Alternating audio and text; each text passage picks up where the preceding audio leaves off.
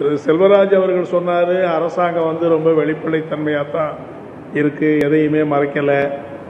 அதே மாதிரி அதிகாரி மாற்றம் என்பது கூட வழக்கமான ஒரு காரியம்தான் அது ஒன்றும் இது இல்லை அப்படிங்கெல்லாம் சொன்னார். ஆனால் நீங்கள் இந்த கொரோனா காலம் துவக்கத்திலேருந்து பார்த்தீங்கன்னு சொன்னால் என்னென்ன மாற்றங்கள் நடந்திருக்கு அப்படின்னு சொல்லி ஏற்கனவே மாநகர கமிஷனராக வந்து பிரகாஷ் இருக்காரு அதுக்கு கூடுதலாக ஒரு அதிகாரி போடுறாங்க தப்பு இல்லை. அதுக்கப்புறம் அவருக்கு உதவி செய்வதற்கு அதிகாரி போடுறாங்க தப்பு இல்லை அப்புறம் மண்டலத்துக்கு ஒரு அவர் அதிகாரின்னு சொல்லி போட்டு அது போடுறாங்க. அதுவும் தப்பு இல்லை சரி ரொம்ப கூடுதலாக கவனிக்கிறதுக்காக போடுறாங்க அப்படின்னு நம்ம புரிஞ்சுக்கலாம். அப்புறம் மண்டலத்துக்கு ஒரு அமைச்சரை பொறுப்புன்னு போடுறாங்க. அவங்க வந்து கூடுதலாக சரி கூடுதலாக வந்து இந்த கொரோனாவை கட்டுப்படுத்துறதுக்கு அதை பாதிக்கப்பட்ட மக்களை பாதுகாப்பதற்கான நடவடிக்கை எடுக்கிறாங்கன்னு சொல்கிறாங்க நம்ம இன்னும் அதை கூட நம்மளால் புரிஞ்சிக்க முடியும் ஆனால் என்னுடைய கேள்வி என்னென்னா ஏன் இதையெல்லாம் அரசாங்கம் ஒவ்வொரு நேரத்தில் ஒரு ஒரு மாதிரி செய்கிறாங்க அப்போ ஒவ்வொரு நேரத்தில் அது கட்டுப்படுத்த முடியாமல் கட்டுக்கடங்காமல் போய்கிட்டு இருக்கிறதுனால மேலும் மேலும் இவங்க கூடுதலாக அதிகரித்து போகிறாங்க அப்படிங்கிற கேள்வி தான் வருது. ரெண்டாவது பீலா ராஜேஷ் அவர்கள் உளவுத்துறை செயலாளராக இருக்காங்க. அவங்க இன்னைக்கு யாருமே உள்துறை செயலாளராக வந்து அது சுகாதாரத்துறை செயலாளரோ ஒரு குறிப்பிட்ட துறை செயலாளர்னா காலங்காலத்துக்கு இருக்க போகிறது கிடையாது. ஆனால் இப்போ வந்து கொரோனா பாதிப்பு என்பது மிக அதிகமாக ஆகிட்டு இருக்கக்கூடிய சூழ்நிலையில் தமிழ்நாட்டில் மொத்தம் நாற்பதனாயிரத்தி எண்ணிக்கையால் தான் தாண்டி போயிருக்குது. சென்னையில் மட்டும் இருபத்தெட்டாயிரம் பாசிட்டிவ் கேஸ் வந்திருக்குது. நடந்திருக்கிற சாவுகளில் பார்த்தா பெரும்பகுதியான சாவுகள் சென்னையாக இருக்குது. எனவே இந்த நேரத்தில் நீங்கள் மாற்றிருக்கீங்க அதாவது மாற்றுறது தப்புன்னு நான் சொல்லலை. திரு ராதாகிருஷ்ணன் வந்து பீலா ராஜேஷை விட ரொம்ப அனுபவம் வாய்ந்த அதிகாரி. பல துறைகள் அவர் வந்து நல்லா பணியாற்றியிருக்காருங்கிறது தெரியும். அப்போ பண்ணியிருக்காரு. ஆகவே மாற்றிருக்கிறதுங்கிறது இந்த பணியை என்ன கூடுதலாக கவனிக்கிறதுக்கு நீங்கள் மாற்றிருக்கோன்னு சொல்லுங்களேன் இது வழக்கமானதுன்னு ஏன் சொல்கிறீங்க நாங்கள் கூடுதலாக கவனிக்கணும். ஆகவே இதை மாற்றிருக்கோன்னு சொல்லுங்கள் அப்படிதான் நீங்கள் பார்க்கணுமே தவிர வழக்கமான மாற்றம்னா எப்போ வேணாலும் நடக்கலாமா. இவ்வளோ பெரிய போர்க்களம் நடக்கிற போது ஒரு மாற்றம் வருதுங்கிற போது நீங்கள் கூட அதை நியாயப்படுத்தி சொல்லலாம். நாங்கள் வந்து ஒரு அனுபவம் வாய்ந்த அதிகாரியை இந்த துறைக்கு போடுறோன்னு சொல்லுங்கள் ஆகவே நிலைமை என்னென்னா ஒரு சில கேள்விகளுக்கு இன்னைக்கு அரசாங்கம் முதலமைச்சரும் பதில் சொல்லலை அதிகாரிகளும் பதில் சொல்ல மறுக்கிறாங்க. அதாவது கொரோனா டெத்து சம்மந்தப்பட்ட வரையில் மாநகராட்சி கொடுக்குற விவரங்கள் இதை விட இன்னொரு பங்கு கூடுதலான சாவு எண்ணிக்கையாக இருக்குது ஆனால் மாநகராட்சி வெளியிடக்கூடிய சாவு எண்ணிக்கை பார்த்தீங்கன்னா அதில் சரிபாதிக்கு குறைவாக தான் இருக்குது அது எப்படி? மாநகராட்சி ஒரு எண்ணிக்கை வெளியிடுது சுகாதாரத்துறை ஒரு சாவு எண்ணிக்கை வெளியிடுது ரெண்டுமே இவங்க சொல்கிறாங்க அந்த அம்மையார் செக்ரட்டரி செயலாளர் சொல்கிறாங்க இந்த எண்ணிக்கையெல்லாம் எங்ககிட்ட வரல. இன்னைக்கு முதலமைச்சர் சேலத்திலே என்ன சொல்கிறாரு இந்த சாவு எண்ணிக்கையை பொறுத்தவரையில் தனியார் மருத்துவமனையில் இருக்கிற சாவு எண்ணிக்கையெல்லாம் சேர்த்து தான் நாங்கள் சொல்கிறோம் முதலமைச்சர் சொல்கிறார் ஆனால் நேற்று சுகாதாரத்துறை செயலாளர் சொல்கிறாங்க அந்த எண்ணிக்கையெல்லாம் எங்களுக்கு வரல. அப்படின்னா என்னன்னா அதன் மூலம் ஒரு உண்மை வெளிப்படுதா இல்லையா? அந்த எண்ணிக்கையெல்லாம் வந்தாக்கா இந்த சாவு எண்ணிக்கை ரெண்டு மடங்கு ஆகுதுங்கிறது உண்மைதானே? அது உண்மையான விஷயம் அதுதானே? அந்த சாவு எண்ணிக்கை உங்ககிட்ட வரல அவ்வளவுதான். வந்திருந்தால் இந்த எண்ணிக்கை என்பது இன்னும் கூடுதல் ஆயிருக்குங்கிறது தானே உண்மை. ஒருவேளை அதை சொன்னதுனால தான் இன்னைக்கு மாத்துறாங்களான்னு சொல்றது எனக்கு தெரியாது. ஆனா நிச்சயமா நான் என்ன சொல்ல விரும்புறேன் என்னன்னா இன்னைக்கு கூட முதலமைச்சர் சொல்றாரு கோர்ட்ல போய் சொல்றீங்க.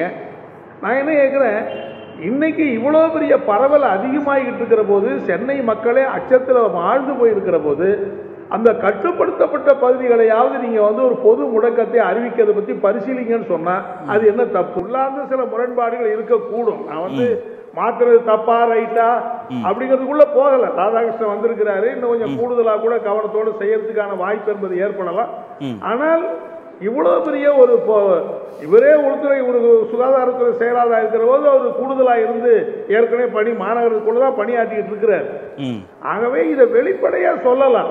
அதாவது இந்த காரணம் ஆகவே நாங்க வந்து மாத்துறோம். ம். இல்ல கூடுதலா நாங்க தேவைப்படுது. ஆகவே அதுக்காக மாத்துறோம். எதையுமே அரசாங்கம் இந்த போர் பேரிடர் காலத்துல ஒரு வெளிப்படை தன்மையோடு செயல்பட்டு இருந்தா இந்த அரசாங்க இந்த அரசாங்கத்தின் மீது சந்தேகம் வராது. சாவு எண்ணிக்கை உட்பட மக்களுக்கு சந்தேகம் வராது. இப்ப எல்லாத்துலயுமே வந்து சந்தேகம் வர்றதுக்கு காரணம் என்னன்னா நீங்க வெளிப்படை தன்மையோட உண்மையை பளிச்சுன்னு சொல்ல மாட்டேங்கிறீங்க. ஒவ்வொரு நேரத்தில் ஒரு ஒரு உண்மையை மறைச்சு மறைச்சு மறைச்சு மறைச்சு சொல்லிக்கிட்டே இருக்கிறதுனால தான் மக்களுக்கு இந்த சுகாதாரத்துறை செயலாளர் மாற்றத்திலேயும் உள்ளுக்குள்ளே ஏதோ ரகசியங்கள் பொய்ந்திருக்குதோ என்கிற ஒரு ஐயம் ஏற்படுவதற்கு அரசனுடைய அணுகுமுறை தான் காரணமாக இருக்கிறது என்று நான் தெரிவிச்சுக்க விரும்புகிறேன் அதாவது நீங்கள் திரு திரு ம- மரியாதைக்குரிய நண்பர் செல்வராஜ் வந்து ரொம்ப திறமையானவருங்கிற அவருடைய வாதத்திலேருந்து நீங்கள் பார்க்க முடியும். நீங்கள் எவ்வளவோ குறுக்க கிடுக்கி இப்படியெல்லாம் போட்டு பார்த்தீங்க அந்த பொது முடக்கம் சம்மந்தமாக அவர்கிட்டேருந்து ஏதாவது வாங்கலான்னு. கடைசி வரைக்கும் அந்த சப்ஜெக்டுக்குள்ளேயே வராமல் அவர் வந்து ரவுண்டு கட்டி அடித்து உங்களுக்கு தண்ணி காட்டார் பாருங்க.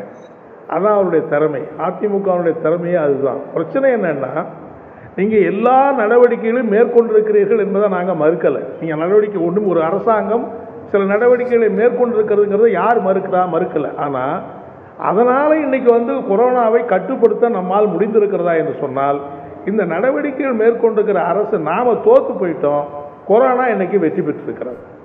எனவே இந்த மேலும் தீவிரமாக பரவக்கூடிய இந்த கொரோனாவை கட்டுப்படுத்துவதற்கு அரசாங்கம் என்ன செய்வதை பற்றி யோசிக்கணும் என்பதை பற்றி தான் நீதிமன்றம் கேட்குது நாங்களும் கேட்குறோம் பல கட்சிகளும் சொல்கிறோம் ஒருவேளை தேவையானால் நாங்கள் தமிழ்நாடு பூரா பொது ஊரடங்குன்னு சொல்லலை. ஒட்டுமொத்த சென்னைக்கு மட்டும் கூட சொல்லலை. கட்டுப்படுத்தப்பட்ட பகுதிகளையாவது நீங்கள் ஒரு பொது ஊரடங்கை அமலாக்கி அதன் மூலம் இந்த கொரோனாவை கட்டுப்படுத்த முயற்சி பண்ண முடியுமா என்று சொன்னால் இப்போ என்ன சொல்கிறாங்க அது ஊரடங்கு அறிவிக்கிறதுனால வந்து கொரோனாவை கட்டுப்படுத்த முடியும். அப்படின்னா ஏன் நீங்கள் வந்து மூணு மாதம் ஊரடங்கு அறிவித்து வச்சிருந்தீங்க? கொரோனா ரொம்ப கம்மியாக இருக்கிற போதெல்லாம் இவ்வளோ கடுமையான ஊரடங்கு எதுக்கு அமல்படுத்துறீங்க அப்போ ஊரடங்குனால வந்து கொரோனாவை கட்டுப்படுத்த முடியாதுன்னு சொன்னால் பிரதமர் சொன்னது பொய் முதலமைச்சர் சொன்னது பொய் ஊரடங்கு வந்து எந்த பலனையும் தெரிய அடி ஊரடங்கு என்பது இதை கட்டுப்படுத்துறதுக்கான ந- நடவடிக்கையே இல்லைங்கிற முடிவுக்கு போக முடியுமா? எனவே அது ஒன்று ஆகவே எங்களுடைய இது என்னன்னா ஒரு பொது பொது ஊரடங்கை வந்து நீங்க பரிசீலிக்கலாம் கட்டு அமலாக்கலாம். அதன் மூலம் நோய் பரவலை தடுக்கிறதுக்கு முயற்சி பண்ணணும் நான் என்ன கேட்குறேங்க மக்கள் மக்கள் நீங்க என்ன சொல்றீங்கன்னா வெளிநாட்டிலேருந்து வர இப்போ நான் கேட்குறேன் இன்னைக்கு வந்து இது வரைக்கும் நாற்பதனாயிரத்தை தாண்டிடுச்சு நம்முடைய தமிழ்நாட்டில் கேஸ் பாசிட்டிவ் கேஸ் இது வரைக்கும் வெளிநாட்டிலேருந்து வந்திருக்கிறவங்கள பாதிக்க பார்த்தீங்கன்னா ஆயிரத்தி தொள்ளாயிரத்தி முப்பத்தி மூணு கேஸ் தான் வெளிநாட்டிலேருந்து வந்தவங்களுக்கு கொரோனா வந்திருக்குன்னு அரசாங்க விவரம் சொல்லுது. இன்றைக்கி நீங்கள் பார்த்தீங்கன்னா ஆயிரத்தி தொள்ளாயிரத்தி எண்பத்தி ரெண்டுக்கு மேலே வந்து பாசிட்டிவ் கேஸ் வந்திருக்கு. அதில் வெளிமாநிலங்கள் வெளிநாட்டிலே வந்தவங்க வெறும் எண்பத்தி ரெண்டு பேர் தான். இப்போ நீங்கள் வெளிநாட்டில் இருக்கக்கூடிய தமிழர்களை கேரள அரசாங்கம் வரவேற்குது ஆந்திரா அந்தந்த மாநிலத்தில் இருக்கிற வெளிநாட்டில் இருக்கிற அந்த மாநில அரசுகள் வரவேற்குது. ஆனால் தமிழ்நாடு அரசு மட்டும் வெளிநாட்டில இருந்து இருக்கிறவங்க வந்தாங்க கொரோனா பரவிடும்.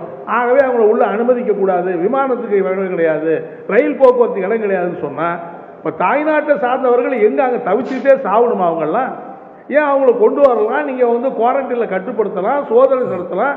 அவங்களுக்கு பாசிட்டிவ் இருந்தா அவங்களை தனியா வச்சு ட்ரீட்மெண்ட் பண்ணலாம். அதுக்கப்புறம் வீட்டுக்கு அனுப்பலாம்.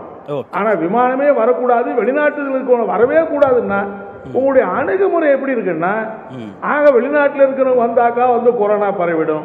வெளி மாநிலத்தில் இருக்கிற தமிழர்கள் வந்தா கொரோனா பரவிடும்.